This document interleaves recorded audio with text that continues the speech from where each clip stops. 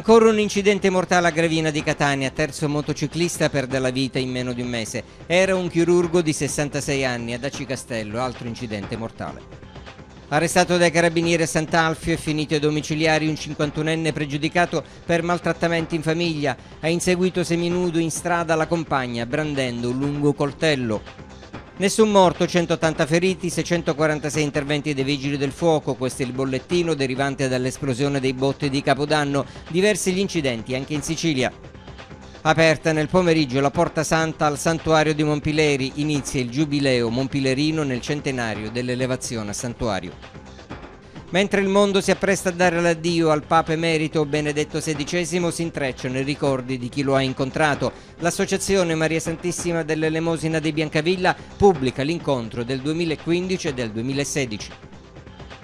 Impianti di produzione di idrogeno rinnovabile in aree industriali dismesse della Sicilia. La Regione, tramite il Dipartimento dell'Energia, pubblica l'avviso finalizzato alla selezione di proposte progettuali.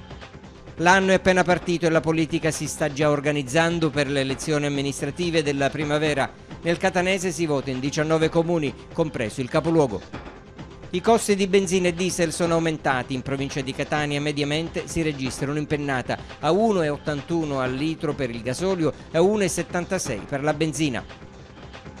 A Paternò ripresi oggi i lavori di ripavimentazione con basolato lavico di via Vittorio Emanuele. I commercianti i residenti chiedono di fare presto. Realizzata e pubblicata sulla rivista Remote Sensing la nuova mappa topografica dell'Etna aggiornata a luglio 2021, zona sommitale Valle del Bove.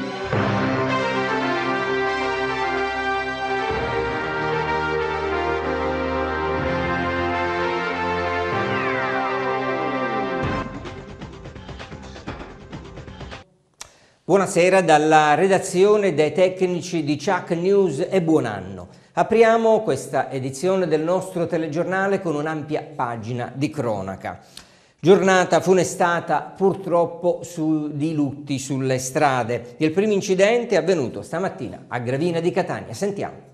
Settimane orribili, le ultime per i motociclisti a Gravina di Catania. Terzo incidente mortale meno di un mese nel comune pedemontano Etneo. A perdere la vita stamani in via Etnea, a pochi metri dallo svincolo della tangenziale ovest, uno stimato chirurgo di 66 anni, Alfio Garrotto, originario di Messina ma residente a Lentini, travolto a bordo della sua Harley Davidson da un tir carico di frutta.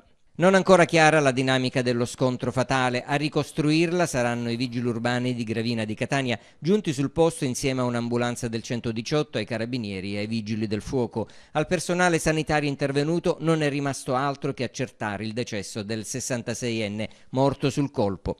A causa del camion e della moto fermi in carreggiata, la circolazione in un punto nodale per la viabilità nei centri pedemontani a nord del capoluogo è andata letteralmente in tilt. È stata anche disposta per alcune ore la chiusura dello svincolo di Gravina della tangenziale di Catania. Utili a ricostruire la dinamica le immagini delle telecamere dell'ANAS e due testimonianze. Il conducente del tir è stato sottoposto all'alcol test risultando negativo. Il terzo incidente mortale a Gravina dall'11 dicembre scorso, quando morì un 49enne mascalucese. Appena tre giorni fa un altro incidente mortale a San Paolo, frazione gravinese, costato la vita a un commercialista, anch'egli residente a Mascalucia, di 60 anni. E oggi il terzo, quanto basta per chiedere maggiore sicurezza su tutto il territorio del comune di Gravina di Catania. E un altro incidente purtroppo mortale si è registrato nella giornata di oggi. La vittima è una donna di 57 anni che questa mattina intorno alle 9 ha perso il controllo sulla sua auto, una Renault, schiantandosi contro un muretto laterale sulla statale 114 in territorio di Aci Castello. A provocare l'incidente potrebbe essere stato un malore. Ai medici intervenuti non è rimasto altro da fare che accertare il decesso dell'automobilista. È un uomo di 52 anni, Alessandro Melfa, originario di Catania, residente a Gallodoro, è morto nel pomeriggio a Castelmola, in contrada Montevenere, per un incidente sul parapendio di cui era istruttore. Ferita una donna di 51 anni che si trovava sul velivolo insieme a lui. La signora non sarebbe in pericolo di vita. Per, soccorrere, per soccorrere la donna, che ha riportato diverse fratture, è intervenuto un elicottero dei Vigili del Fuoco in servizio presso il reparto volo di Catania. Issata a bordo, la donna insieme a un medico del 118 con l'ausilio di un verricello. La 51enne è stata ricoverata al Cannizzaro di Catania, in corso le indagini per chiarire le cause dell'incidente mortale. Arrestato dai carabinieri a Sant'Alfio e finito ai, ai, domiciliari un 51enne pregiudicato per maltrattamenti in famiglia. Ha inseguito sei minuti in strada la compagna brandendo un lungo coltello da cucina. Sentiamo i particolari.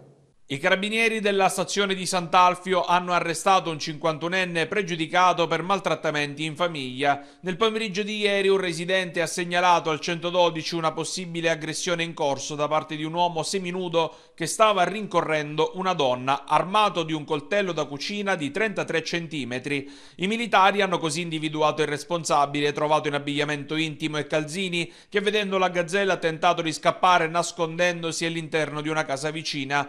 Il soggetto in evidente stato di ebbrezza è stato fermato. Il 51enne, secondo quanto ricostruito, ha preso l'arma poi celata in una intercapedine alla base di un palo della luce e inseguito per strada la sua attuale convivente, una 55enne di origine ucraina, cercando di colpirla più volte al viso. Fortunatamente la donna è riuscita ad arrivare al suo appartamento. Le forze dell'ordine hanno scoperto che quello era solo uno degli episodi aggressivi messi in atto dall'individuo, che era solito aggredire aggredirla, percuoterla e maltrattarla. La donna, esausta della situazione, aveva deciso di chiudere la relazione e allontanarsi definitivamente dall'abitazione del fidanzato. La sua scelta ha determinato l'ennesimo atto di violenza. Il coltello è stato sequestrato, il 51enne, posto a disposizione delle autorità giudiziarie che ha convalidato l'arresto, è finito ai domiciliari con l'applicazione del braccialetto elettronico.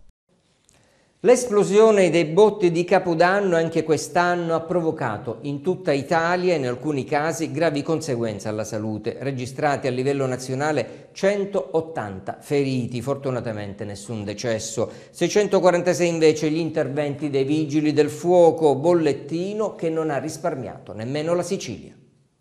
Non sono bastati divieti né raccomandazioni, salutare l'anno andato in archivio e dare il benvenuto al nuovo con botti e fuochi d'artificio è una di quelle tradizioni a cui gli italiani sembrano non saper rinunciare e come accade ogni anno, anche nel 2023 sono state diverse le persone rimaste ferite a seguito dell'esplosione di prodotti pirotecnici, innumerevoli anche gli interventi dei vigili del fuoco per incendi riconducibili ai festeggiamenti di Capodanno. Da nord a sud della penisola penisola italiana sono 180, stando ai dati diramati dal Dipartimento di Pubblica Sicurezza, le persone rimaste ferite dai botti, 48 delle quali ricoverate in aumento rispetto al 2022.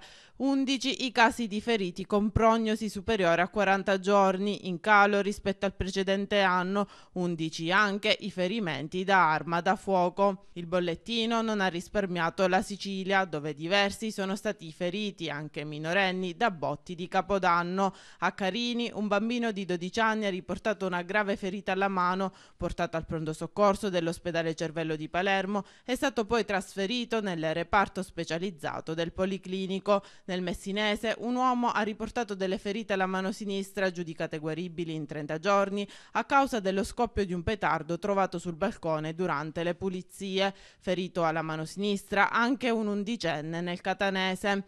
Ancora nel territorio etneo, un 47enne si è ustionato a seguito dello scoppio di fuochi d'artificio al viso e riportato escoriazioni a guancia e palpebra. Altre due persone sono rimaste ferite agli occhi, tre alle mani e uno al ginocchio. 646 sono stati infine gli interventi dei vigili del fuoco nella notte di San Silvestro, in leggero aumento rispetto allo scorso anno quando furono 558, 31 gli interventi effettuati in Sicilia Sicilia. Cambiamo argomento. Aperto questo pomeriggio a Mascalucia il Giubileo Monpilerino presso il Santuario della Madonna della Sciara. Ad aprire la Porta Santa Giubilare l'Arcivescovo Metropolita di Catania, Monsignor Luigi Renna, nel settimo anniversario della sua ordinazione vescovile. Sentiamo. Con l'apertura della Porta Santa presso il Santuario Madonna della Sciara di Monpileri a Mascalucia è stato inaugurato il Giubileo Mariano Monpilerino che lungo tutto il 2023 e sino al 6 gennaio 2024 celebrerà il centenario di erezione del santuario avvenuto il 1 agosto del 1923 per volere del cardinale Giuseppe Franci Canava. L'apertura il 2 gennaio coincide con il giorno del settimo anniversario di ordinazione episcopale dell'arcivescovo metropolita di Catania, Monsignor Luigi Renna, che spiega il senso di questo evento giubilare. È il giubileo della nostra Madonna di Monpileri, un giubileo che ci richiama alla gioia che il Signore augura alla figlia di Sion, Gerusalemme, Maria, la Chiesa. È un invito a ritornare a quello che è il senso della nostra fede amati, siamo amati da Dio e siamo chiamati a diffondere la gioia di chi si sente amato da Dio e non perde mai la speranza di fronte alle difficoltà.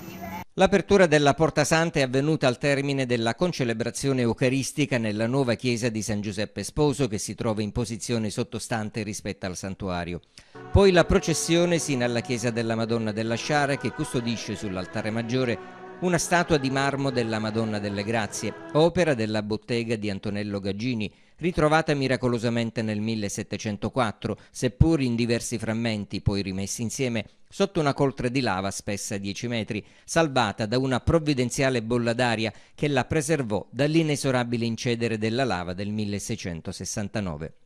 Il simulacro della Vergine lo scorso anno è stato restaurato e riportato alle fattezze gagginiane, sino a mostrare il candore marmoreo, liberato da diversi strati di vernice sovrapposti nel corso dei secoli.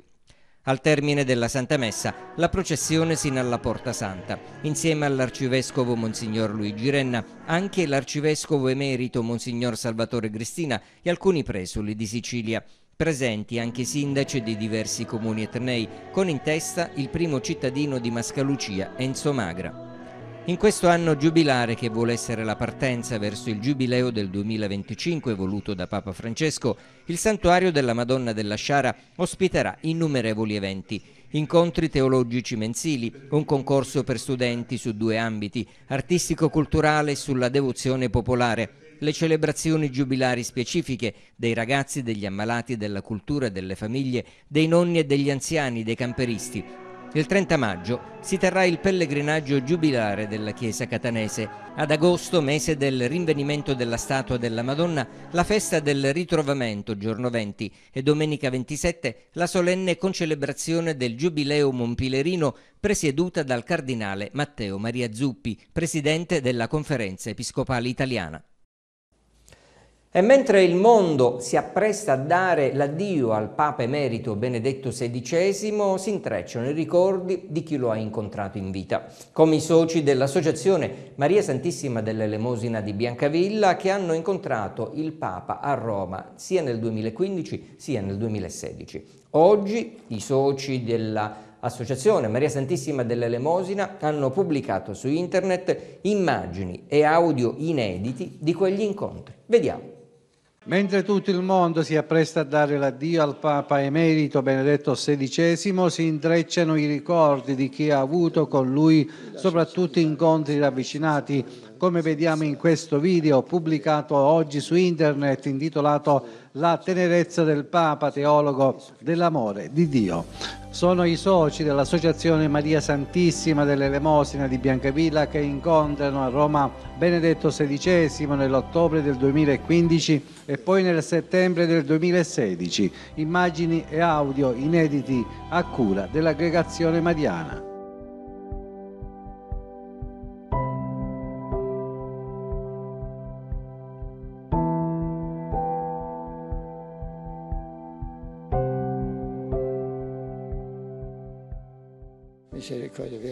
Vanno insieme perché solo una misericordia che risponde alla verità dell'uomo, una vera misericordia, se faccio una cosa sbagliata contro la verità, anche se appare misericordioso, non aiuta l'altro, quindi misericordia e verità vanno insieme, si baciano, dice Salmo, così mi sembra molto importante. E seguendo la Madonna siete state la vera misericordia.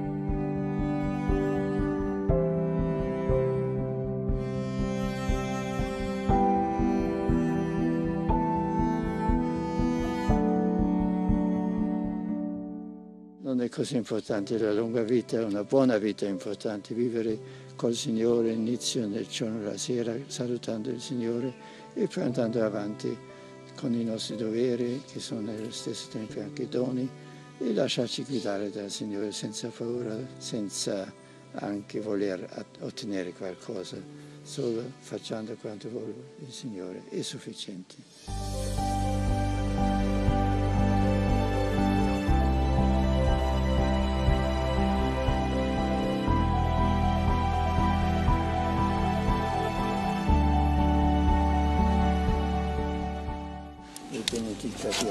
Dio Onnipotente, Padre e Figlio e Spirito Santo.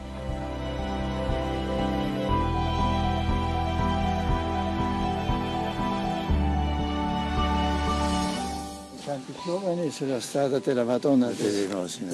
Grazie a voi. Grazie Andate avanti così.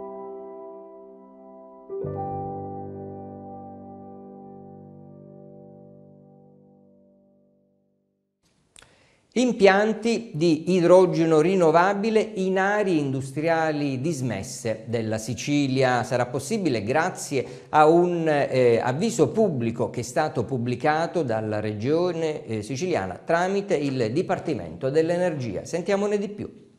In Sicilia si punta agli impianti di produzione di idrogeno rinnovabile in aree industriali dismesse. La Regione, tramite il Dipartimento dell'Energia, ha pubblicato l'avviso pubblico finalizzato alla selezione di proposte progettuali. Si potranno presentare le proposte a partire dal 1 febbraio e fino al 17 la graduatoria delle domande dovrà essere pubblicata entro il 31 marzo. Il bando dal valore di 40 milioni di euro è finanziato con le risorse del PNRR per la rivoluzione verde e transizione ecologica. A essere finanziate proposte progettuali di investimento fino a un massimo di 20 milioni ciascuna. Dovrà esserci la riconversione di aree industriali non più usate per creare centri di produzione e distribuzione di idrogeno verde. Il presidente della regione siciliana Renato Schifani è intervenuto sulla questione Commissione siamo stati i primi a consegnare l'avviso pubblico al Ministero dell'Ambiente e della Sicurezza Energetica, raggiungendo un primo traguardo a cui l'amministrazione regionale lavorava già da qualche anno. Questo però è solo il punto di partenza che ci permette di guardare al futuro con ottimismo. La Sicilia, dice ancora Schifani, vuole diventare un punto di riferimento nazionale ed europeo per la produzione di energia pulita. Occupiamoci adesso di politica, il 2023 è appena entrato e già la politica locale si occupa delle prossime amministrative di primavera. In provincia di Catania si voterà in 19 comuni, fra i quali lo stesso capoluogo di provincia. L'anno è appena cominciato e la politica scalda già i motori pensando alle elezioni amministrative che matureranno la prossima primavera. Il 2023 è l'anno in cui diversi comuni in Sicilia, 129 per l'esattezza, sono chiamati al voto, tra questi quattro capoluoghi di provincia, Catania, Ragusa, Siracusa e Trapani. Nel territorio etneo, oltre alla capoluogo di provincia Catania, sono 18 le realtà territoriali dove si dovranno rinnovare gli organi di governo locali. In particolare si voterà ad Aci Sant'Antonio, Acireale, Belpasso, Biancavilla, Camporotondo etneo, Castel di Iudica, Gravina di Catania, Maletto, Mascalucia, Mineo, Piedimonte etneo, Riposto, Sancono, San Gregorio di Catania, Sant'Alfio, Santa Venerina, Valverde e Via Grande. La data ufficiale non è stata ancora decisa, le elezioni dovrebbero comunque tenersi in un periodo compreso tra il 15 aprile e il 15 giugno prossimi. A Biancavilla il centrodestra in questo momento appare compatto sulla ricandidatura dell'attuale sindaco Antonio Bonanno. Silenzio invece in questo momento dal centro-sinistra e dal Movimento 5 Stelle che stanno cercando una figura di spicco per poterli rappresentare. A Belpasso invece è stata annunciata già qualche settimana fa il ritiro dalla corsa primo cittadino dell'attuale sindaco Daniele Motta. Al suo posto il gruppo a lui vicino che fa riferimento al deputato regionale Giuseppe Zitelli e al partito di Fratelli d'Italia ha deciso di ripresentare la candidatura a primo cittadino di Carlo Caputo, attuale presidente del Parco dell'Etna e già sindaco di Belpasso. Sempre nell'ambito del centrodestra, annunciata alla vigilia di Natale la candidatura di Salvo Licandri, ex presidente del Consiglio Comunale Belpassese e attuale consigliere comunale, vicino all'ex deputato regionale Alfio Papale. Per il centrosinistra anche in questo caso non si hanno dichiarazioni ufficiali. A Maletto si ricandida l'attuale sindaco Pippo De Luca vicino al deputato regionale Cateno De Luca. A Camporotondo Etneo si attende invece di capire se, come si prospetta, potrebbe cambiare la normativa in vigore permettendo la terza ricandidatura. Se così fosse ci sarebbe strada aperta per l'attuale primo cittadino Filippo Privitera, al momento al suo secondo mandato. 2023 con rincaro della benzina. In provincia di Catania mediamente si registra un'impennata a 1,81 centesimi per litro per la benzina, per il gasolio e 1,76 per la benzina. Sentiamo. Carburanti a prezzo pieno già da ieri con l'inizio del nuovo anno. Il governo Meloni infatti nella manovra 2023 non ha confermato il taglio delle accise varato a marzo dall'esecutivo Draghi che prevedeva uno sconto di 30 centesimi al litro poi divenuto 18 centesimi dallo scorso novembre. Dunque dopo la riduzione è arrivata anche la definitiva eliminazione dal 1 gennaio 2023 e di conseguenza i costi di benzina e diesel sono già aumentati. In provincia di Catania mediamente si registra un'impennata a 1,81 al litro per il gasolio, 1,76 per la benzina. Si stima che dal 22 marzo al 30 novembre 2022 la misura sia costata alle casse dello Stato circa 7,3 miliardi di euro. La situazione legata ai rincari che preoccupa la cittadinanza sarebbe mitigata dal calo generale del prezzo dei carburanti alla fonte. Dalle rilevazioni del Ministero dell'Ambiente e della Sicurezza Energetica tra il 19 e il 25 dicembre il prezzo medio nazionale della benzina è sceso a 1,625 euro al litro, non accadeva da giugno 2021, e il diesel è arrivato a 1,689 euro, il costo più basso dallo scorso 31 gennaio. Le associazioni dei consumatori hanno comunque accolto poco benevolmente lo stop al taglio delle accise. I cittadini dovranno affrontare infatti il rincaro diretto e probabilmente pure l'incremento del prezzo delle merci, poiché aumenterà il prezzo del trasporto su gomma. Insomma, una situazione in divenire che certamente agita gli animi di tutti sin dall'inizio di questo nuovo anno. Ripresi questa mattina a Paternò in via Vittorio Emanuele nel tratto compreso fra piazza Regina Margherita e piazza San Giovanni i lavori di posa del basolato lavico. I commercianti e i residenti lanciano un appello, fare presto. Via Vittorio Emanuele a Paternò, alle mie spalle l'area a cantiere, questo cantiere è partito circa un mese fa per ripavimentare con basolato lavico questo tratto tratto di via Vittorio Emanuele compreso tra piazza Regina Margherita e piazza San Giovanni. I lavori sono finalmente ripartiti oggi dopo un periodo di fermo che è cominciato proprio eh, alla vigilia di Natale. Interventi rapidi chiedono sia i residenti che i commercianti di questa parte della città perché questo cantiere come immaginate con la chiusura dell'arteria stradale ha determinato anche un calo sensibile nelle eh, vendite. Oggi cominciano per i commercianti gli sconti e il periodo degli sconti di fine stagione, sperano almeno in una ripresa dell'attività commerciale almeno in questa, in questa fase, purtroppo però il cantiere va avanti almeno fino al prossimo mese. L'amministrazione comunale ha assicurato che già la settimana prossima dovrebbero arrivare nuovi operai per ripavimentare, come detto con basolato, eh, Lavico la strada, si spera che il cantiere così come è stato assicurato dovrebbe concludersi il mese eh, di febbraio, quindi il mese eh, prossimo. Abbiamo però sentito una commerciante di via Vittorio Emanuele proprio per dirci le sue sensazioni. Sentiamo. Non è stato esattamente bellissimo, è stato veramente triste in tutto e per tutto, perché già solamente passeggiare passeggiare una parolona, eh, camminare eh, su questi marciapiedi così risicati dove passano anche i motorini, eh, le biciclette, eh, c'è anche il rischio che, che ti buttano per terra, insomma non è il massimo. Comunque l'abbiamo passato, vuol dire che doveva essere a questa maniera. Chiaramente ci è dispiaciuto tantissimo non aver potuto uh, mandare avanti il progetto che avevamo proposto all'amministrazione di, di, fare un esperimento sociale per quanto riguarda questo, questo tratto di strada, che sarebbe stato a quello che si era prospettato inizialmente, parzialmente chiuso e quindi parzialmente usufruibile per attività varie, proprio per cercare di muovere il centro storico eh, il paese. Eh, non è stato possibile, speriamo di farlo in seguito. Intanto comunque in positivo possiamo dire che da oggi cominciano gli sconti, che cosa vi aspettate? A questo punto della vita non è che ci aspettiamo tanto, però siamo sempre propositivi, combattiamo ogni giorno e speriamo sempre in un futuro eh, luminoso.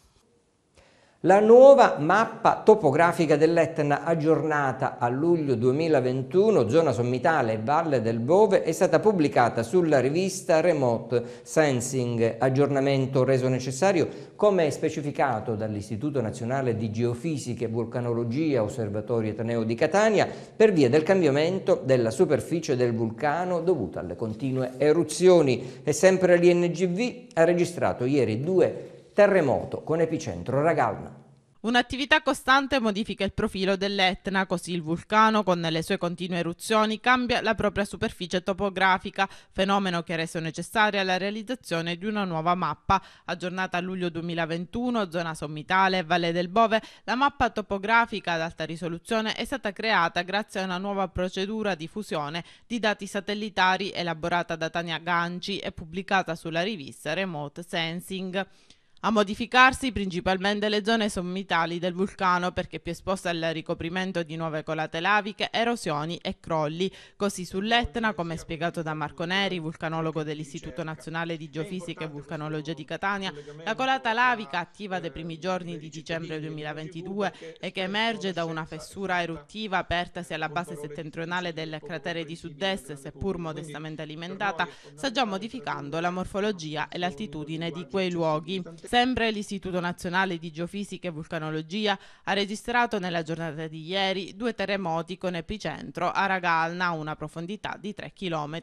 Il primo di magnitudo 2 è stato registrato intorno all'1.10 di notte, il secondo di magnitudo 2.8 alle 11.30 circa e seppur lieve pare essere stato avvertito dalla popolazione. Trasferiamoci adesso ad Adrano dove è stato annullato a sorpresa dall'organizzazione lo spettacolo Fontane Danzanti previsto nell'ambito della Kermesse Armonie Natalizie. Accerteremo le motivazioni, dichiara il sindaco Fabio Mancuso che intanto annuncia anche nuovi interventi per il 2023. Ieri sera armonie natalizie senza le fontane danzanti, come indicato nel cartellone, evento non eseguito come comunicato a sorpresa dall'organizzazione dello spettacolo. Accerteremo le motivazioni, ha scritto nella tarda mattinata di ieri il sindaco di Adano Fabio Mancuso nella sua pagina Facebook, comunicando che l'evento legato alle fontane era stato appunto annullato. Ieri sera comunque Capodanno al villaggio di Babbo Natale all'Arena del dell'Etna con la musica del DJ Bruno Schirirò, la visita all'area shopping, la pista di pattinaggio e il divertimento al parco giochi. Sindaco Capodanno senza le fontane danzanti si balla questa sera all'Arena dell'Etna con la musica di un DJ. Sì, intanto buon anno a tutti, un 2023 che ci auguriamo pieno di salute, felicità e serenità. Per la nostra amministrazione sarà un anno di concretizzare tutti i finanziamenti che abbiamo ricevuto. La sorpresa che ci hanno comunicato che non potevano venire chi aveva già sottoscritto un contratto con l'amministrazione per le fontane danzanti, nelle prossime ore sapremo la motivazione. Loro ci hanno detto genericamente di un guasto, ma considerato la mia esperienza non credo che c'è stato un guasto, verificheremo e naturalmente è possibile che questi signori pagheranno a tutti gli adraniti il bellissimo Natale che abbiamo fatto. Va bene, ne sapremo di più allora nelle prossime ore. Sindaco, lei ha detto in un messaggio di fine anno il 2022 è stato l'anno delle idee, dei progetti, il 2023 sarà l'anno eh, delle realizzazioni. Eh sì, perché il PNRR dove sono arrivati i fondi più cospicui per l'amministrazione, prevede proprio un cronoprogramma dove nel 2023 devono essere consegnati i progetti nei primi sei mesi e nei secondi sei mesi le realizzazioni. Quindi ci saranno tantissimi cantieri dal centro storico alle scuole, alla regimentazione delle acque, al mercato ortofrutticolo, a via Casale dei Greci, insomma e poi un milione di euro stanziato solo per la manutenzione straordinaria delle strade, quindi con il completamento del lavoro che abbiamo iniziato nel 2022 e poi tantissimi interventi nei servizi sociali, dall'ampliamento dell'asilo nido a tutto quello che è il supporto agli anziani, saremo in gita con loro nel 2023, stiamo pensando di fare una gita fuori porta ma proprio fuori dall'Italia con eh, gli anziani, lo faremo anche per le altre eh, attività, insomma sarà un 2023 ricco di tantissime cose, abbiamo avuto il tempo di programmare per tempo. Dopo un anno che eh, abbiamo fatto tantissimo lavoro, ci sarà il gemellaggio con Namur e lavoriamo per il gemellaggio con Kempten perché sono le città dove gli adraniti hanno assolutamente messo radici con i loro figli e i loro nipoti ed è giusto che Adrano si gemelli con queste due città del Belgio e della Germania. Ed era questa l'ultima notizia del nostro TG, ma vi, vi invito a seguire ancora eh, l'aggiornamento delle nostre notizie su ciactelesud.com oppure sui social sia Facebook sia Instagram. Per tutti gli aggiornamenti potete anche iscrivervi al nostro canale Telegram. Infine per i comunicati stampa potete utilizzare la mail redazione chiocciola ciactelesud.com. È davvero tutto, buon proseguimento di serata con i programmi di Ciac Telesud. A risentirci. Thank you.